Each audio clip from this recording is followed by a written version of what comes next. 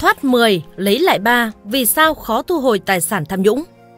Thưa quý vị và các bạn thân mến, mới đây, Mặt trận Tổ quốc Việt Nam đã có kiến nghị gửi Bộ Chính trị, Ban Bí thư, Ban chỉ đạo Trung ương về phòng chống tham nhũng tiêu cực, Thường trực Chính phủ. Theo đó, cơ quan này nhận định trong giai đoạn từ năm 2018 đến năm 2021 và 9 tháng đầu năm 2022, dù các cơ quan trung ương, tỉnh, thành phố đã rất nỗ lực nhưng việc thu hồi tài sản bị thất thoát, chiếm đoạt trong các vụ án hình sự về tham nhũng kinh tế vẫn còn nhiều hạn chế.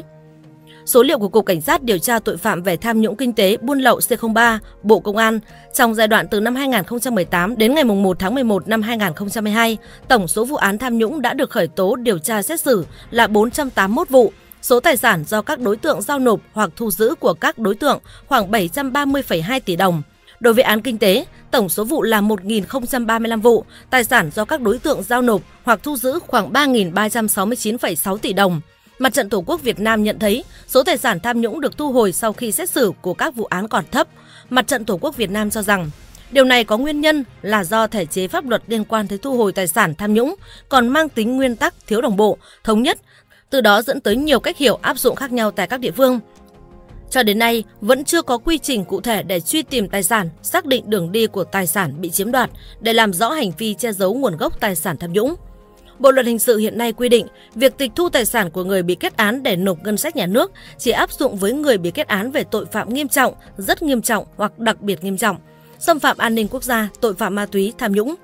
Việt Nam cũng chưa có cơ sở về kiểm soát thu nhập cũng như luật đăng ký tài sản, nên việc kê khai tài sản ảnh hưởng đến công tác xác minh, truy tìm tài sản của người phải thi hành án. Về điều này, Phó Chủ tịch Ủy ban Mặt trận Trung ương Tổ quốc Việt Nam Trương Thị Ngọc Ánh cho rằng, việc giám sát của nhân dân đối với công tác kê khai tài sản của cán bộ, công chức, người có chức vụ quyền hạn trong bộ máy nhà nước tại nơi cư trú là cần thiết.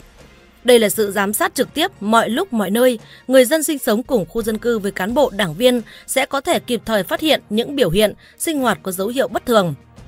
Thông qua giám sát phát hiện của nhân dân, mặt trận và các tổ chức chính trị xã hội sẽ kiến nghị với cấp ủy, tổ chức trực tiếp giám sát cán bộ, đảng viên có biểu hiện nghi ngờ. Qua giám sát ban đầu của người dân sống cùng khu dân cư với cán bộ, đảng viên sẽ có những hoạt động giám sát cụ thể, chuyên đề sâu hơn về việc công khai kê khai tài sản quan chức tại nơi cư trú của quan chức để nhân dân giám sát, nguyên Thứ trưởng Bộ Nội vụ Thang Văn Phúc cho rằng cần thay đổi quy định trong phòng chống tham nhũng. Theo đó, Việt Nam hiện đang hướng tới công khai, minh bạch nhưng còn hạn chế vì hệ thống pháp luật hiện chưa đồng bộ.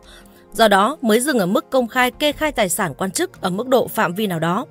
Luật sư Trương Thanh Đức, giám đốc công ty luật Anvi, nhận định những người thuộc đối tượng phải công khai, minh bạch tài sản, phải thực sự thể hiện được sự trong sạch để mọi người biết. Càng công khai tài sản càng tốt, ai không muốn công khai thì có thể từ chức.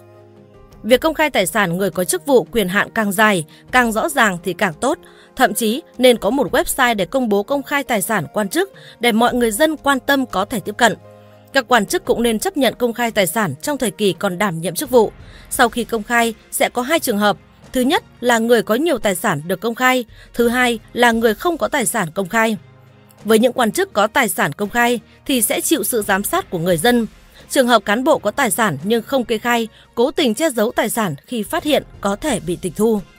Dù vậy, luật sư Đức cho rằng việc kê khai tài sản cần có lộ trình từ 3 đến 5 năm và nên coi việc kê khai tài sản này là bình thường, chỉ khi họ có liên quan tới tiêu cực thì mới điều tra làm rõ. Đề cập đến vấn đề kiểm soát quan chức đầu tư ra nước ngoài, trong đó có việc mua bất động sản, Phó Chủ tịch Hiệp hội Doanh nghiệp Đầu tư nước ngoài Nguyễn Văn Toàn cho rằng với quy định pháp luật về đầu tư hiện nay, có thể kiểm soát được nếu họ đầu tư qua con đường chính thống, có đăng ký dự án đầu tư ở các cơ quan chức năng như Cục Đầu tư nước ngoài cấp phép. Tuy nhiên, trong trường hợp họ đầu tư qua kênh thứ ba, đầu tư chui thì rất khó kiểm soát. Luật sư Trương Thành Đức cũng đồng tình với nhận định này, cho rằng việc kiểm soát tài sản của quan chức ở nước ngoài rất khó, điểm mấu chốt là quan chức đầu tư bất hợp pháp ra nước ngoài nên mới cần kiểm soát. Về phần mình, ông Thang Văn Phúc lý giải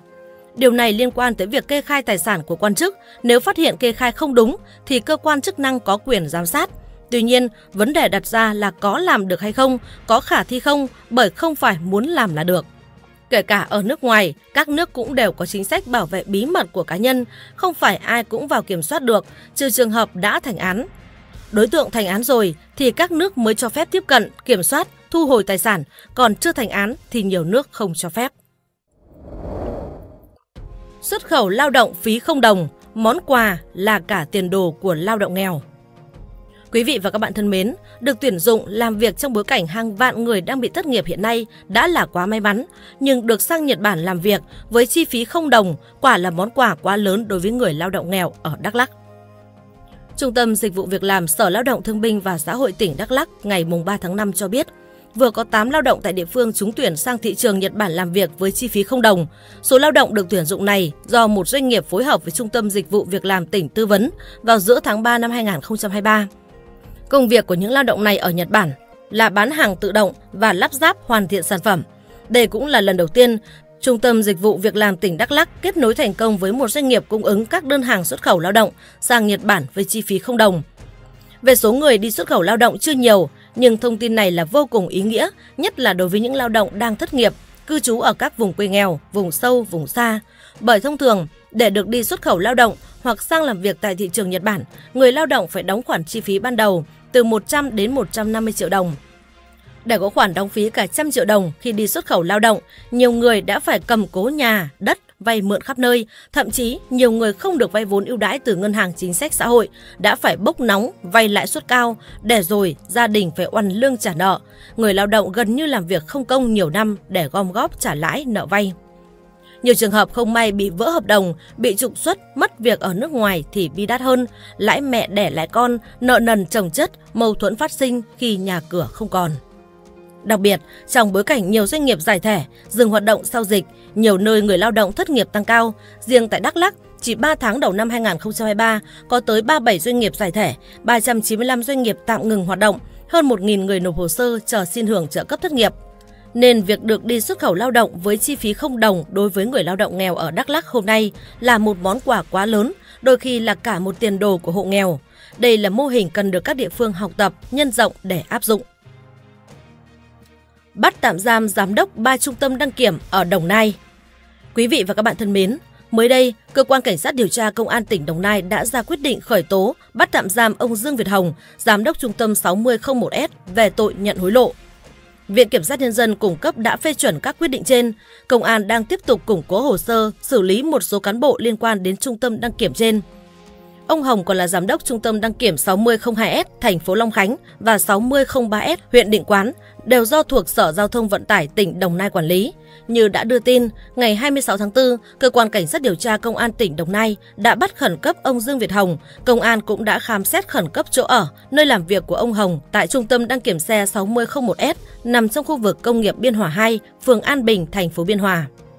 Đây là động thái mới nhất của Công an tỉnh Đồng Nai trong việc tiếp tục mở rộng công tác đấu tranh, làm rõ hành vi đưa hối lộ và nhận hối lộ xảy ra tại các trung tâm đăng kiểm xe cơ giới trên địa bàn tỉnh Đồng Nai.